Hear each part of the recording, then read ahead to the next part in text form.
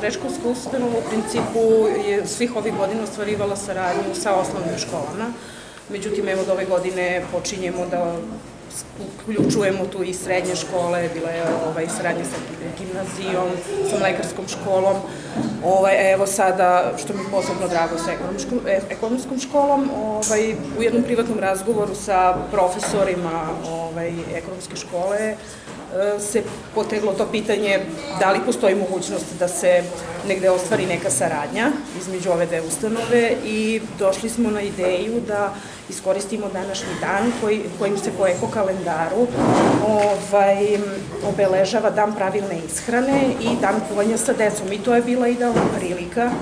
da mi ovaj, dođemo u školu, da profesorka Ljiljana Tanasković um, održi deci prezentaciju o pravilnoj zdravoj ishrani, a da profesorka kuvarstva Zorana Kostov ovaj,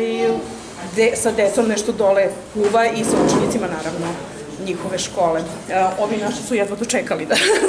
dođemo kada smo najavili. Tako da mislim da će ovo biti baš jedna uspešna saradnja i nadam se još nekim budućim ovaj, projektima i dogovorima. Naša nutricionistkinja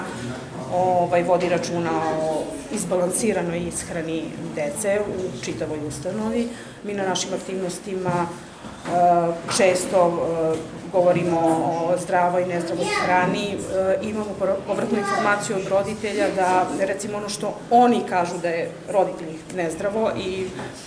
ovaj, što negde pokušavaju da eliminišu iz, hrane dece, iz ishrane dece, to negde njima ne uspeva, ali kada vaspitači kažu, to je već autoritet i da to se ovom prilikom zahvalim direktoru ekonomske škole